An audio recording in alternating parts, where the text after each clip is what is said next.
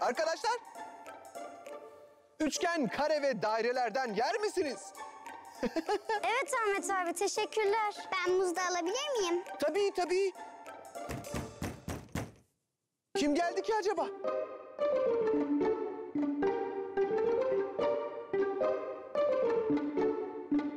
Aa, postacı gelmiş.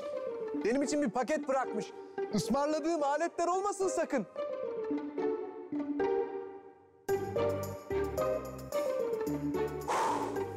Bakalım ısmarladığım aletler mi gelmiş?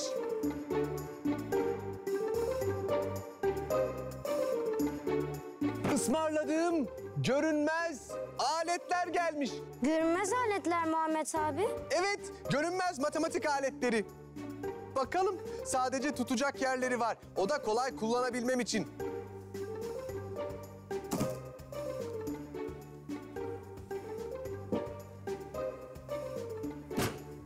Renk değiştirici. Tutucu. Ve görünmez kesici. Çok güzeller öyle değil mi? Evet.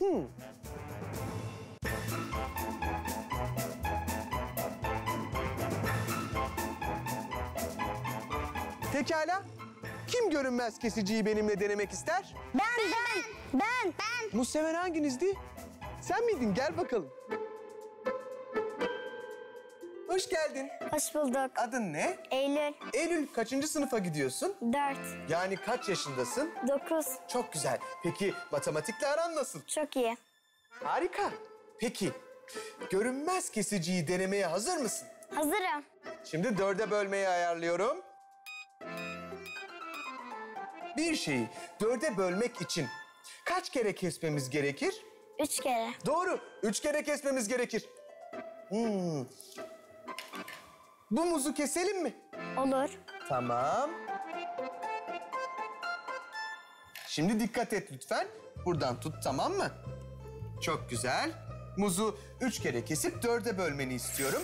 Buradan, buradan ve buradan kesebilirsin. Ama lütfen her defasında abra matematika diyelim birlikte olur mu? Olur. Hadi bakalım başlıyoruz.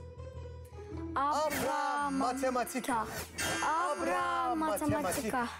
Abra matematika. matematika. Tebrikler. Güzelce muzu dörde böldün. Bölünmedi. Bölünmedi mi? Bölünmedi. Ee, şey, e, bu tarafa geçer misin lütfen? Tabii. Muzu soyup bakalım mı? Olur. Tamam, şu tabağı kullanalım. Hı. Soyuyorum.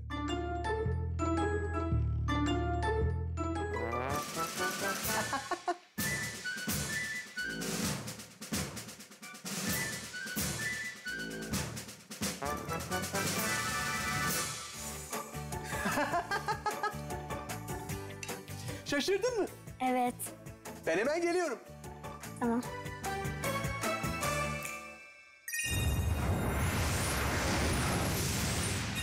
Tekrar merhaba arkadaşlar. Şimdi Eylül'e ve size bu gösteriyi nasıl yaptığımı anlatacağım. Tabii ki görünmez bir kesme aletimiz yoktu.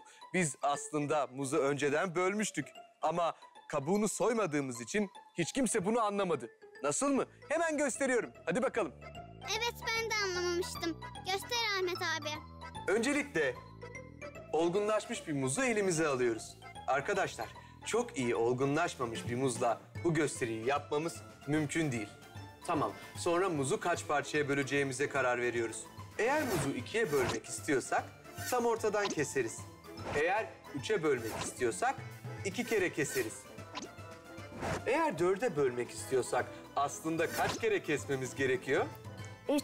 Doğru. Üç kere kestiğimiz bir şeyi dörde bölebiliriz. Peki bu parçaların eşit olduğunu anlamak için ne kullanmalıyız? Cetvel.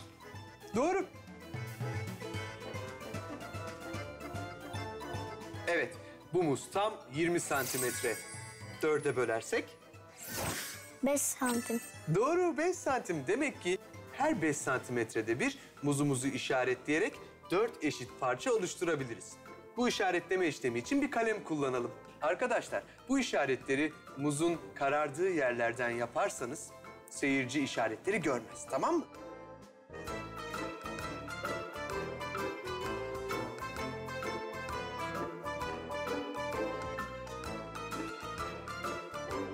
Tamam, işaretlerimiz hazır. Şimdi geldik muzu soymadan nasıl böldüğümüzü anlatmaya. İşte bununla. Evet, muzu küçücük bir toplu iğneyle kesiyoruz arkadaşlar. İşaretlediğimiz yerlerden toplu iğnemizi muza batırıyoruz. Çok güzel. Kabuğu zedelemeyin arkadaşlar, tamam mı? Ve sonra toplu iğneyi ileri geri hareket ettirerek yavaş yavaş muzu kesiyoruz. Bunu her bir işaretten tekrarlıyoruz. Çok güzel. Tamam. Muzumuz kesildi. Ama kabuğu üstünde olduğu için kimse bunun farkında değil. Bakalım mı? Bakalım. İşte geliyor.